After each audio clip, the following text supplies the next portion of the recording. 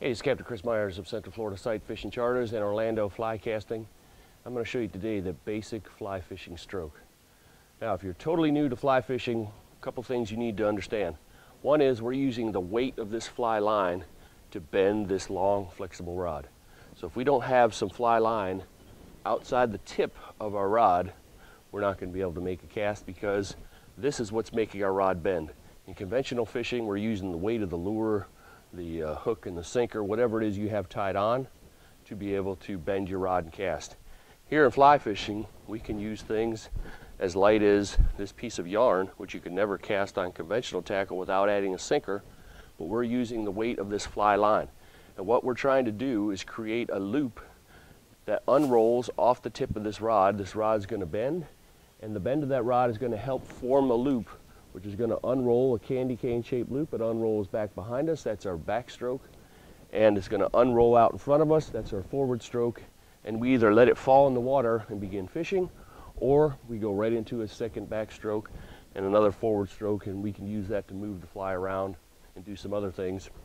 But it's the weight of this fly line that's bending our rod.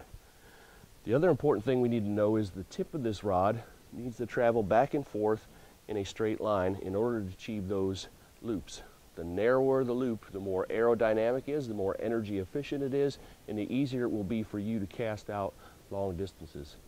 So you want to move that rod tip back and forth in as straight a line as possible, and that requires you to keep a firm wrist and not bend your wrist.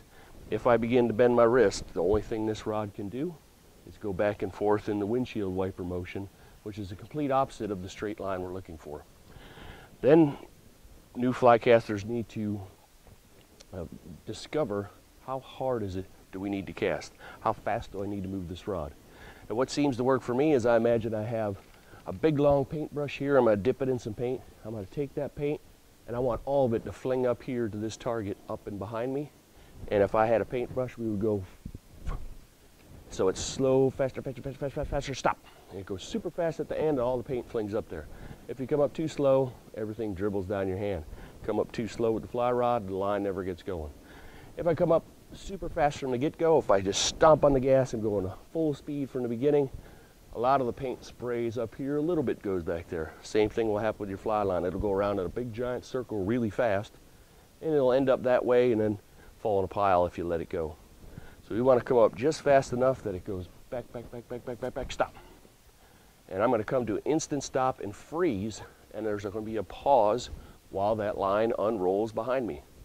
When I'm new to fly casting, if I'm not looking back there, you're not going to have any idea when that line is unrolled. You're going to be guessing. Guessing usually doesn't work out in our favor when it comes to making good fly casts. So turn your head, look back at that cast, watch it unroll. The second it's unrolled, we're going to come forward with the exact same speed and power. We're going to stop going out and slightly down. So the cast unrolls out a couple feet above the water, falls down on my target. So it's a backstroke, a forward stroke, then I'm going to follow through. You can check out my video on the five principles, the five rules of fly casting that are very important.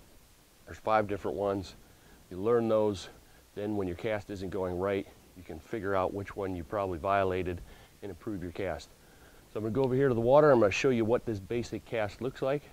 And I want you to try it, and I think you'll find that you'll be well on your way to becoming a fly fisherman and fly caster. For the basic cast, you want to start with at least 20 to 25 feet of line outside your tip so you have enough weight to bend or load your fly rod.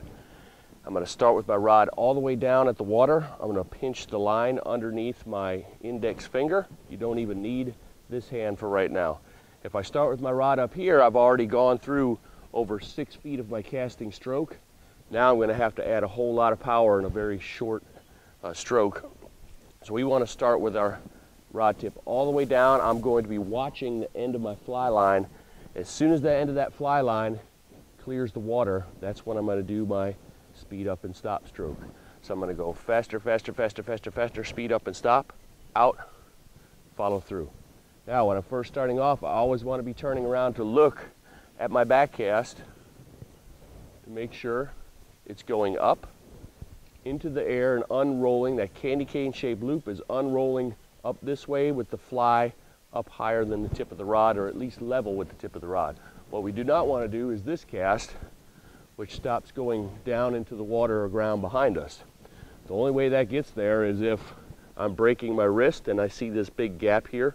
So it's very important that we keep our wrist firm. At the end of my stroke, you'll see the gap was about the same as when I started. So I'm gonna lift up, up, up, up, up. It's cleared, go up and back, pause, out, follow through. Now, it's also very important that our delivery stroke has two parts. It has a stop going out and slightly down, and then a follow through to the water. To demonstrate, it goes out, follows it all down. What I do not want to do is come up and go down, and now everything fell in a pile right here off my rod tip because that's exactly where I told it to go. An important rule of fly casting is the fly and the fly line only go the direction the tip was traveling at the moment that it stopped. So if my tip was traveling down in the back, down in the front, you can see I don't have the loop that we're looking to create and I'm just falling in a pile behind me and falling in a pile in front of me and I'm never going to be able to achieve any more distance. So we want to create those loops. So it goes up in the back, out. So I'm pausing just long enough to, to almost completely straighten out, and then I follow through back to the water and I'm in my ready position. Up, out, follow through. What I want you to notice is the tip of this rod has to go in a straight line. If I hold with my thumb on top, where I'm going to recommend you hold it. If my thumb goes back and forth in a straight line, and here's a perfectly straight line to check, so must the rod tip. If my thumb comes off the straight line, either this manner, this manner, this manner, whatever way it is, you're not going to get those tight uh, aerodynamic loops, and you're not going to be able to get the cast that you're looking for in most situations. So watch how far my hand moves. So my hand is moved from all the way down here, all the way back to here. My hand is well behind my body. A lot of beginner fly casters simply hold their hands, hold their arm still and move their wrist back and forth and lock everything right here. And for a little bitty short cast, I can get away with it and still create a loop. But problem becomes when I want to make longer and longer casts, I, I really start to have a problem when I'm casting with my wrist. So learn to cast by keeping your wrist firm, out, follow through. So I'm going to up, out, follow through. So for your basic stroke, start down low, look at your line, up in the back, out in the front, follow through, and you'll be well on your way to being a fly caster.